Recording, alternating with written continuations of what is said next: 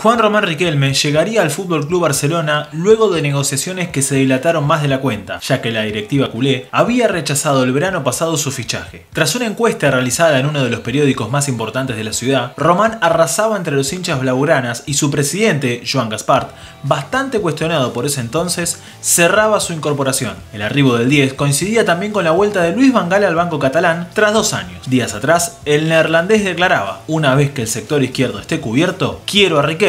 Esto sería un gran problema, ya que nunca llegó un refuerzo para ese sector. Conocida era la pelea del DT con Rivaldo, gran figura del Mundial 2002, y decide prescindir de brasileño para darle lugar a Román. El plantel contaba con grandes nombres como Luis Enrique, Javier Saviola, Kluivert, Mendieta, recién llegado, Xavi, Overmars, Cocu, Frank de Boer y un joven Andrés Iniesta, además de los argentinos Bonano y Sorín. Debut en el amistoso frente al Grenoble francés. Con el 10, ojo también, Juan Román Riquelme en su debut oficial. No, lo tendrá Xavi seguro. Aunque poco a poco está recuperando esa demarcación que ocupaba justo antes de llegar a, al Fútbol Club Barcelona en el Internacional. Atención al pase de Juan Román Riquelme para Patrick Kluivert. Ha puesto bien el cuerpo. Está jugando de nuevo David. Para el jugador de las Islas Mauricio Peratambé ha recuperado a Riquelme. Qué bien, ¿eh? Ha tocado atrás Kluivert para Juan Román Riquelme. Sigue mareando el balón como a él le gusta. Lo pisa, lo pisa. Tantos de, de libre directo. Vamos a ver si esta temporada, pues sin tanta competencia, tiene más oportunidades. Qué Buena ahí pared ahí entre Mendieta y Riquelme. ¿Cómo se entienden? Bueno, está jugando correctamente, pero sin mostrar demasiado. El que más nos está gustando es Riquelme, que entra muchísimo en juego. ¿eh? Ahí está otra vez más. Ahí tenemos precisamente a Riquelme, busca el disparo desde lejos, votó antes de llegar a Debes. Dos posiciones que se tienen que perfilar más que las demás. Intenta sacar el contraataque ahí al Barça, ojo porque se hizo daño Juan Román Riquelme. Solo hace falta que nos lesionen a, a Riquelme en el primer partido. Incluso se lo han recriminado los propios aficionados que están en el estadio. Hombre, ¡Buah! esto es una Por tarjeta, favor, pero, pero bueno, clarísimo. por favor, parecía un pisotón, pero No, no, no, es una entrada. le puso los tacos en la espinilla. Se fue del primero, pero no del segundo. Y ahí está cómo se da media vuelta, cómo se gira Riquelme. Qué difícil es quitarle el balón a Juan Román Riquelme. Pocos jugadores en la historia pueden haber tenido un control del balón tan exquisito como Juan Román Riquelme. No queremos ahora deshacernos eh, en elogios eh, hacia Juan Román Riquelme porque acabe de fichar de- por el Barça, pero es que es el juego que hemos visto siempre en él. Si hubiera fichado por otro equipo y no lo vamos a nombrar, sería el nuevo Maradona. Pero como ha fichado por el Barça, dicen que no, que, que no, que es lento. No, no, es un auténtico fenómeno y hoy está jugando muy bien y cada partido va a ir a más, ya lo verás, seguro. Empezaban los primeros cortocircuitos con el entrenador, pero Román lo callaba en el partido siguiente frente a Parma. Se precipita en sus acciones, juega Riquelme, media vuelta de Riquelme, el disparo de Riquelme, gol, gol, gol, gol, gol.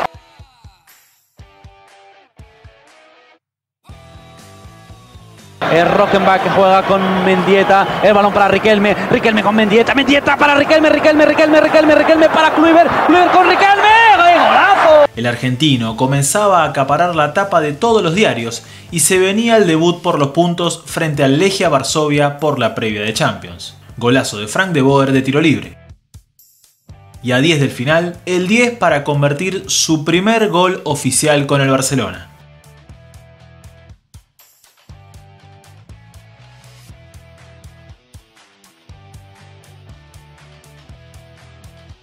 Tocaba recibir al Atlético de Madrid por la primera jornada de la liga. Riquelme ingresaría faltando 10 minutos para el final con el partido 2 a 1, pero se lo empatarían. 2 a 2 final.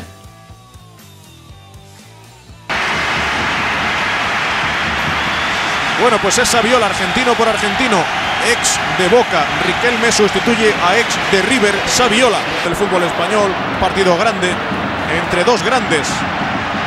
Riquelme, primer balón, el centro, que no llegó a su destinatario, Xavi. Burgos evita el córner y evita todo. Toca Emerson Albertini al primer eh, toque, abriendo Emerson Stankovic de nuevo, el peligro, balón al primer palo, al segundo, Correa solo, Correa, gol. Llegaba el primer golpe del semestre. Dura caída frente al Novelda, equipo de segunda B, por la primera fase de la Copa del Rey. Novelda 2, Barça 1, Rubén bajo palo, Riquelme que golpea pierna derecha, gol del Barça que empata de nuevo el partido. A pesar del empate transitorio de Román, llegaba al 3 a 2. Papelón histórico. Las tapas de todo el mundo no tendrían piedad tras la temprana eliminación blaugrana.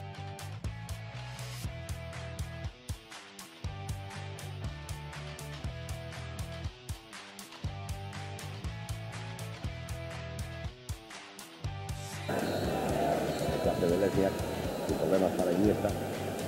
Gerard, Riquelme, al argentino, el.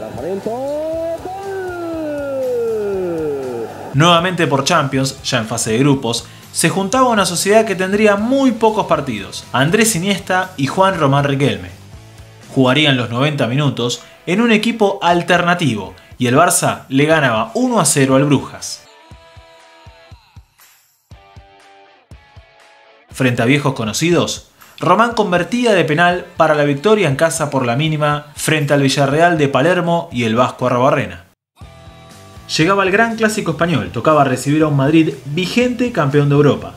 Maqueler esta vez no se la iba a hacer tan fácil a Román. De las pocas situaciones que regalaría el encuentro, las del local salían siempre de los pies del 10.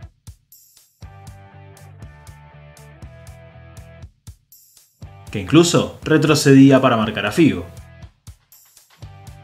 Gran pase de Riquelme a Kluivert, rememorando aquella asistencia a Palermo en Tokio ante el mismo rival. Pero a la Pantera le levantarían la bandera. Sin embargo, el partido del 10 no era suficiente para el entrenador. 10 minutos. Se, va Riquelme. Se va y Riquelme para dar entradas a Viola. 1-10. Yo pensaba que viene de 10 minutos. Porque estamos en el 45, supuestamente. El público se enfada con la decisión de Luis Vangal. Y hasta mucho se enfada. Panuelos, algunos panuelos. Algunos pañuelos en las gradas.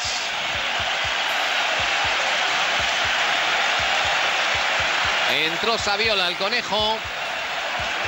Se va Riquelme. Tras el empate en el clásico, vendría una racha nefasta de apenas dos victorias en nueve partidos. En esos encuentros hubo derrota frente a Real Sociedad, Rayo Vallecano y esta durísima frente a Sevilla en casa por 3 a 0 que dejaba al entrenador con un pie y medio afuera. Román jugaría 90 minutos en 5 de esos 9 enfrentamientos. 0-2, gana el Sevilla. Lo fácil que es marcar un gol a veces, la sacada de Notario muy en largo.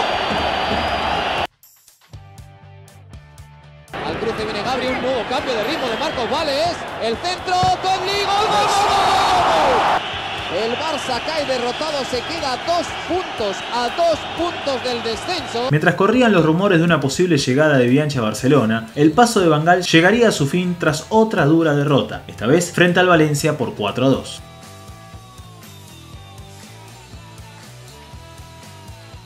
El argentino ingresaba en la primera parte con el encuentro 2 a 0 para la visita.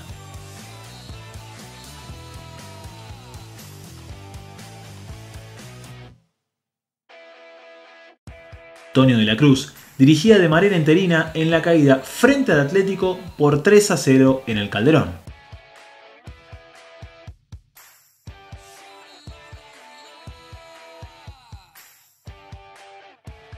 Que ahora no pudo. Ahora sí. ¡Gol! Es Este para gol, Luis eh. García. Ese gol del niño. Ojo a Luis Oh, García y a Fernando Torres. Gol. Golazo del. Llegaba el serbio Radomir Antic, campeón con el colchonero años atrás, y debutaba con un empate en 2 frente al Bilbao tras ir ganando 2 a 0. Riquelme ingresaba en el segundo tiempo. El desmarcado ahí.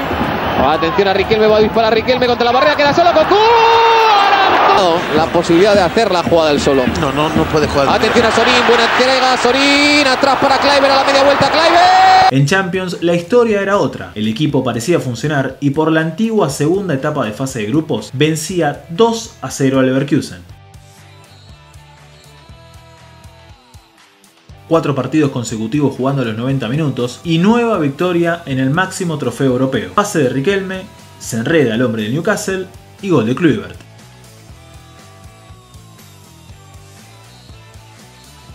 Centro del argentino y gol de Mota. Quizás el mejor partido del Topo Gillo con la camiseta blaugrana se daría en esta goleada frente al Racing de Santander por 6 a 1. Excelente asistencia a. Gol de afuera del área.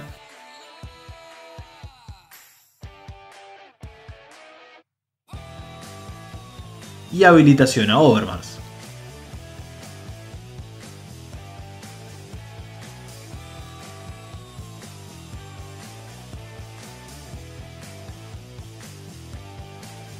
Cuartos de final de la UEFA Champions League. Tocaba visitar a la Juventus, que a la postre sería finalista de aquella edición.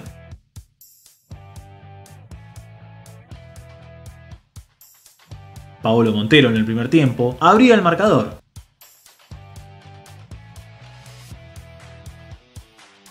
Pero Javier Saviola convertía para la visita que se llevaba un valioso empate del Dele Alpi. Román jugaba 63 minutos. En el medio, clásico frente al Real Madrid que finalizaría 1 a 1. Riquelme ingresaba en los últimos 10 minutos.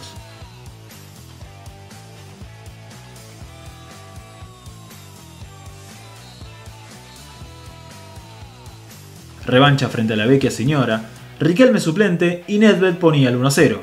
Xavi aprovecha un rebote para forzar el alargue. Román ingresaría en el minuto 85 y en el tiempo extra, Salayeta silenciaba el Camp. El último gol sería en una victoria frente al Recreativo por la fecha 35. La liga llegaba a su fin y el Barcelona terminaría sexto a 22 puntos del Real Madrid campeón.